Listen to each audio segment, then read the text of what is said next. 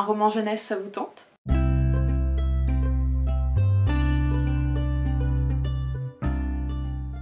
Salut à tous Depuis un petit moment, j'ai une folle envie de me remettre aux lectures fantastiques. Alors attention, je n'ai rien contre ce genre littéraire, mais je suis extrêmement difficile à satisfaire. Rares sont les ouvrages de magie qui ont réussi à trouver grâce à mes yeux. Mais je vois de plus en plus de mes copines lire des livres fantastiques et je me suis dit, bah pourquoi pas retenter après tout, j'en ai dans ma bibliothèque. Pour cette mission, je me suis tournée vers une maison d'édition en qui j'ai entièrement confiance parce que ça fait des années, des années que je travaille avec eux Deux ans, trois ans, je ne sais même plus. Pour commencer en douceur, j'avais besoin d'un roman jeunesse. J'avais besoin de retrouver cette magie qu'on avait quand on était enfant.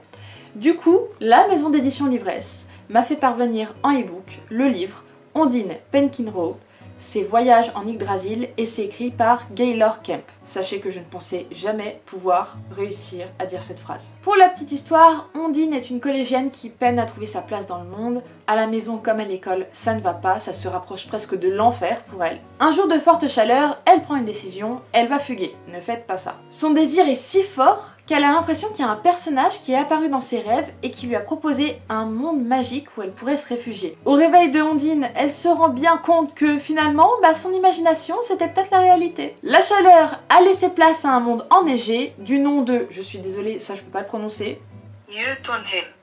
Voilà. Vous n'avez pas vu l'écriture, mais moi j'ai vu l'écriture, ok?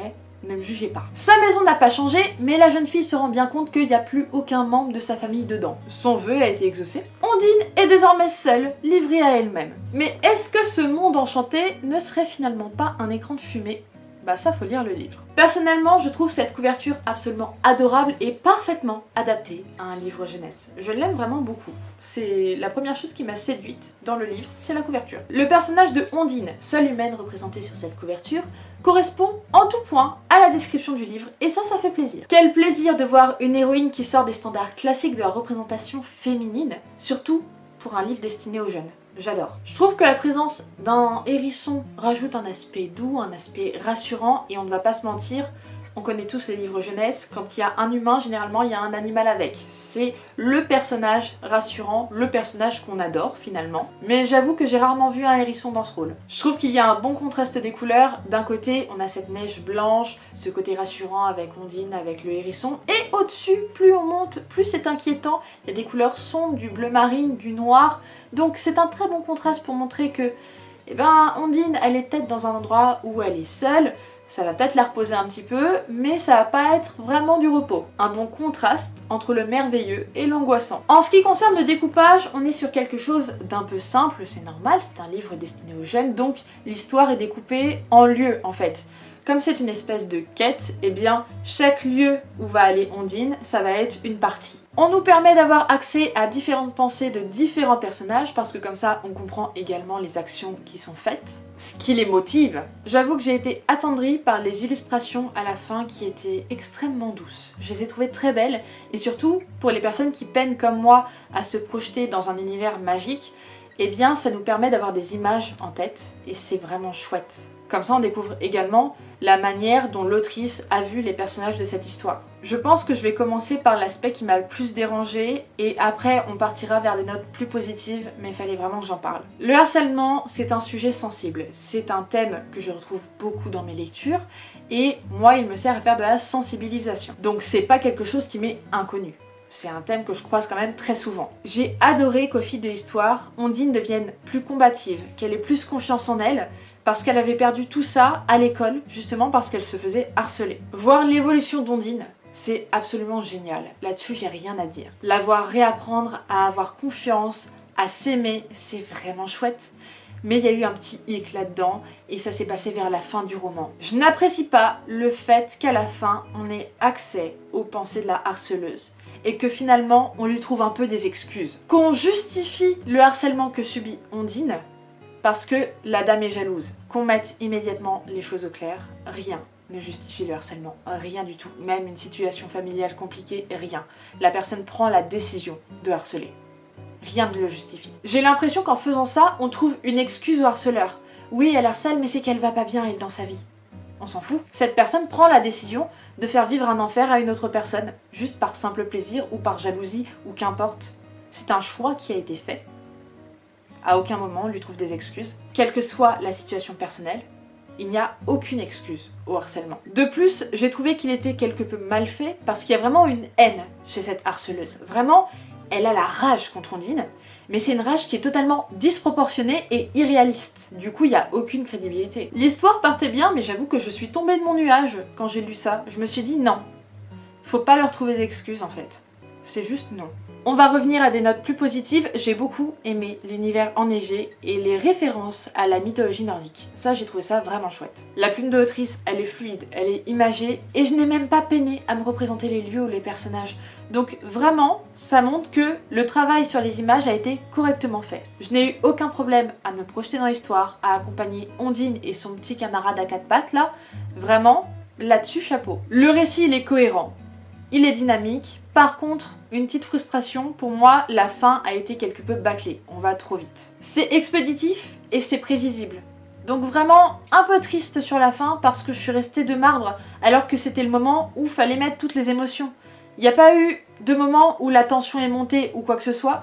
On nous a mis direct l'action et on a fait Ah. Ouais, là-dessus, je suis un peu restée sur ma fin. Même si le thème du harcèlement a été traité maladroitement, il y a quand même de beaux messages dans ce livre. Même si, encore une fois, il y en a peut-être d'autres un peu maladroits, notamment le rapport entre Ondine et son corps. Ondine, elle a des kilos en trop, elle est solitaire, elle est membre d'une famille recomposée et elle n'arrive pas à trouver sa place dedans. C'est un type d'héroïne qui est quand même assez rare et ça fait du bien dans les livres jeunesse. On est aux côtés d'une jeune fille qui a perdu totalement confiance en elle, qui ne s'aime plus et au fur et à mesure de cette expérience, elle va apprendre justement à se réaimer, à se faire confiance, à s'accepter. Donc ça c'est vraiment de très beaux messages. D'ailleurs elle utilise un peu le dessin comme une thérapie et je trouve que montrer que l'art peut être une forme de thérapie, bah c'est chouette. La relation entre Ondine et son corps est quelque peu conflictuelle, mais on remarque que quand elle est avec des personnages qui ne lui font pas remarquer son poids, eh bien, elle arrive à s'accepter et à montrer sa vraie personnalité. Sauf que la fin gâche un peu ce message. C'est comme si tous les efforts qu'avait fait Ondine avaient été balayés d'un coup. Alors je vais pas vous dire comment ça a été fait, mais je vous laisse aller le découvrir par vous-même et vous faire votre propre opinion, mais c'est vrai que ça a gardé un petit goût amer de mon côté. Je trouve que le thème de la famille recomposée est plutôt bien abordé c'est pas facile de faire une place voilà, dans une nouvelle famille. Comme le lecteur voit l'histoire avec les yeux d'Ondine, on a plutôt tendance à partager sa vision des choses et à se dire vraiment sa famille elle est pas ouf. Et en fait, au fur et à mesure que Ondine va être euh, expédiée dans ce monde magique et qu'elle va réfléchir à sa vie, eh bien on se rend compte que peut-être, possiblement, Ondine a quelque peu exagéré les choses. C'est normal, c'est une préadolescente. En fait, ce monde magique, ce monde enneigé, eh bien, c'est vraiment un endroit où Ondine peut faire une thérapie, où elle se pose là et elle peut réfléchir à elle-même, à sa situation, à comment elle se voit. C'est très sympa. Elle se remet en question, elle nous explique sa manière dont elle perçoit le monde, donc vraiment c'est une bonne héroïne. C'est très rare que ça m'arrive, mais je n'ai pas réussi à créer de lien avec les personnages de ce roman. Il me manquait ce côté émotionnel, il me manquait ce lien.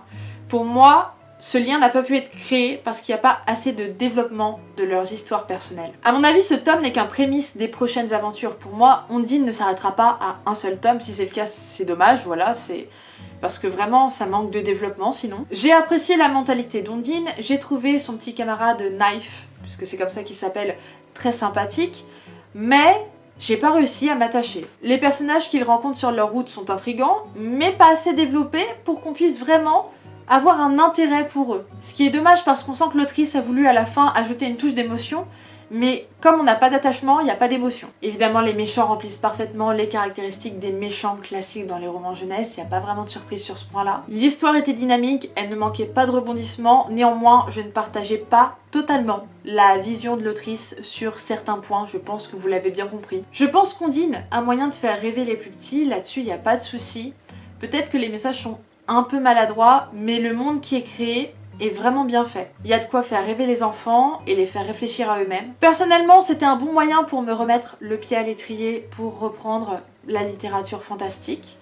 Donc peut-être que prochainement, il y aura des livres fantastiques comme ça qui vont se glisser, on ne sait pas. Bon, pas maintenant parce que j'ai littéralement 4 services presque, il n'y a pas de fantastique là-dedans et que quand j'aurai terminé, on sera probablement fin mars, donc c'est vous dire. Mais possiblement, des lectures fantastiques pourront s'y glisser, on ne sait pas. En tout cas, merci d'avoir regardé cette vidéo, si elle vous a plu, n'hésitez pas à la liker, à la commenter, à la partager à vos amis, à vous abonner, ça fait toujours plaisir, et je vous dis à bientôt dans une prochaine vidéo. Salut